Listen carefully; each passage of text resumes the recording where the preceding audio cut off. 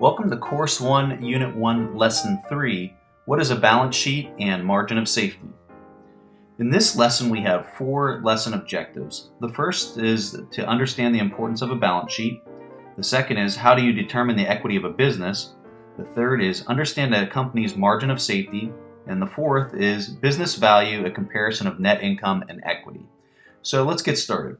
Uh, let me warn you that if you're starting this lesson out without seeing lesson two, you're probably going to be a little bit behind. So I'm, I'm, recommending that you go back and view the course one, unit one, lesson two uh, video before jumping into this lesson three. Okay, so where we left off in lesson two was that we had a small business owner who whose name was Nancy. You can see her there at the top.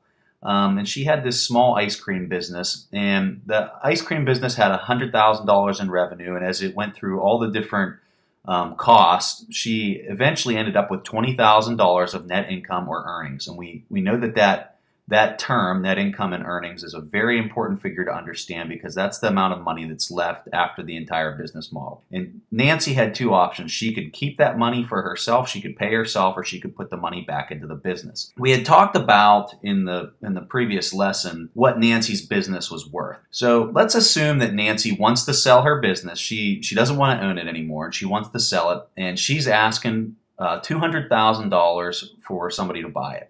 So that, that's her market price.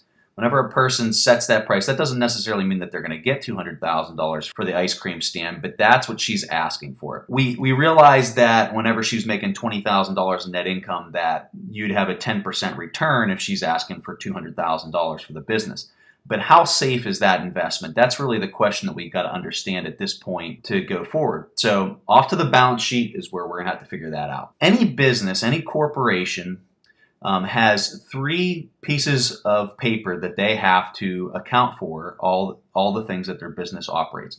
The first one's the income statement, the next one's the balance sheet, and the third one is the cash flow statement. And I have a little square there representing each one of these documents. So for Nancy's business, she has an income statement. Now, if you look below the income statement, you see the little model uh, that we used from lesson two below that, because that's what we were doing. We were figuring out essentially what her income statement was. It starts at the, at the top of that income statement is the total revenue, and the bottom line figure at the bottom of that document of the income statement is the net income.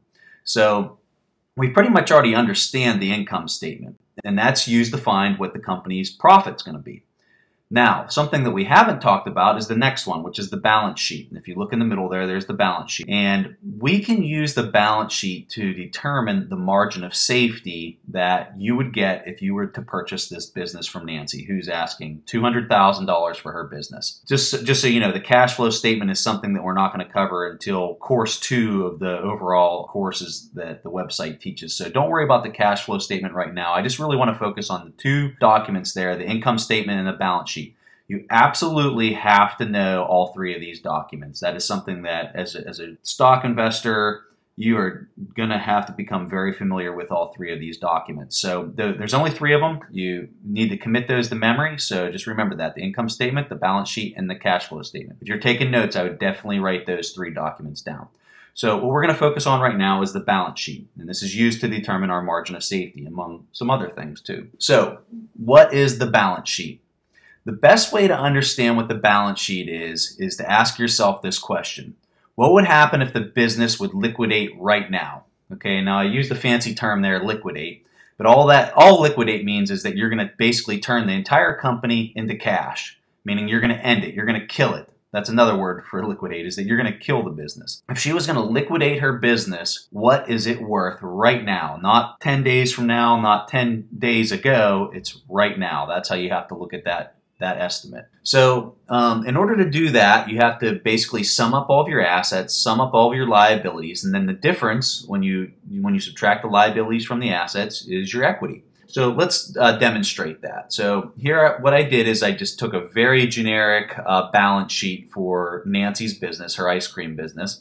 And on the top, you can see I have the total assets. Okay, so I'm going to go through these real quickly. Um, the cash in the account. So she, Nancy has a corporate bank account that's different than her personal bank account. And in that bank account, she has $3,000 on hand. Her ice cream stand, let's just say the ice cream stand is worth $10,000.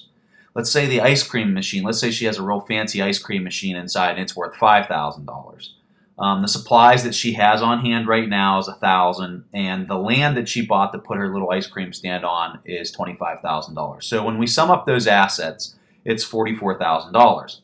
So now let's look down at the total liabilities. So the first thing we see is the salary owed to her employee of $2,000. So she has to pay that out. She hasn't paid her yet. The next thing is the ice cream stand itself. Now you'll notice that I listed the ice cream stand up in the assets and I also listed the ice cream stand in the liabilities. On the top, it's it's ten thousand dollars. On the bottom, it's nine thousand dollars. The reason that the, the ice cream stand is listed twice is because she hasn't paid for the ice cream stand.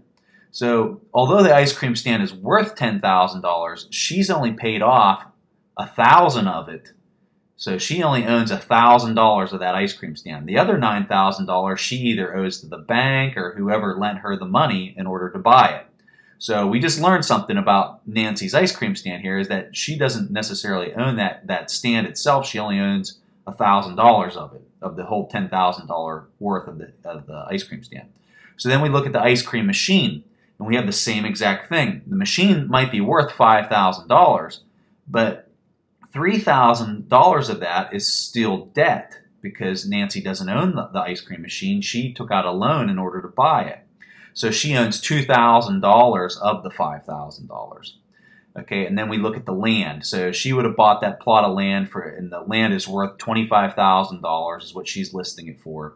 But she still owes $23,000 on that land. So she's only paid off $2,000 on that land. So when we sum up all of her liabilities, we see that Nancy owes $37,000 on this ice cream stand. So when what we got to do is we just take the assets, we take those total assets, we subtract the total liabilities, and we see that Nancy's equity in this business, and the equity is just the difference between those two, is $7,000. So this sheds a whole lot of light on Nancy's ice cream stand you know, it might be making $20,000 a year in profit, but uh, the only thing it's worth on the books right now, which is her balance sheet, if you look up in the top left there, the balance sheet, the equity is only $7,000 on this business. So, in order to get a better idea of a balance sheet, I, I often encourage people to, to sit down and try to determine their own equity with a balance sheet. You know, sit down with a blank piece of paper and write down all your assets. You know, write down how much you have in cash in your bank account. Write down how much you think your car is worth right now, and and you have to say what it's worth now, not what you bought it for. Um, how much you think your house is worth, and then go down to the liabilities and then start listing how much do you have in credit card debt, how much is your loan uh, for on your house, how much is your car loan still and, and list all those things. And then what you do is you just add up your assets, subtract your liabilities, and see what your personal equity is. And when you do that, you're really going to have a better idea of what a balance sheet actually is because you've done it firsthand. Okay, and something one final thing I want to highlight here is you look up on that balance sheet in the top left. Um, the equity is for the whole business when you value the entire business. When we start talking about shares, one share the the terminology that's equivalent to, to equity is book value. So whenever I if, if, I slip up and say book value, I'm actually saying equity, but book value is per share. That's equity per share. Okay, so now we're to look at here. If if Nancy couldn't find a buyer for her for her uh, ice cream stand, how much is her business worth? Okay, we said that you know if, if we valued it at two hundred thousand dollars, it's going to give her it's going to give her or the person who would buy it a ten percent return. But if no one's willing to buy it for that, how much is it really worth? If she just wanted to end this business and she couldn't sell it to anybody, how much is she going to get? And the answer is her equity. She's going to get seven thousand dollars for this business. So you saw a business that went from you know her trying to sell it for maybe two hundred thousand dollars, but if she can't find a buyer and she just wants to kill the business and sell her ice cream machine and pay off her debts and all that, she's only going to have $7,000 left at, at the end of the day. So this difference between what the market price of what a person's asking for and the actual equity that's sitting in the company, that difference is the risk. That's the margin of safety. And this was Benjamin Graham's big thing, which we learned was Warren Buffett's professor at Columbia. His big thing was margin of safety if a if a business didn't have a, a, substantial amount of safety between what the market price was and what the equity was, he was very hesitant to ever buy a company. So, like in this scenario, the, the equity is actually three and a half percent of what the market price is, and you know that that's no that's no safety at all. Because let's say you'd buy this business for two hundred thousand dollars. Let's say you bought it. Okay, there you are with your ice cream stand, and it's it's making that that net income that you saw, which was twenty thousand dollars. And as it's making that, all of a sudden your employee quits and sales start decreasing and all of a sudden you're not making money anymore and you have to sell the business. What is the business worth? Well, it's worth the equity.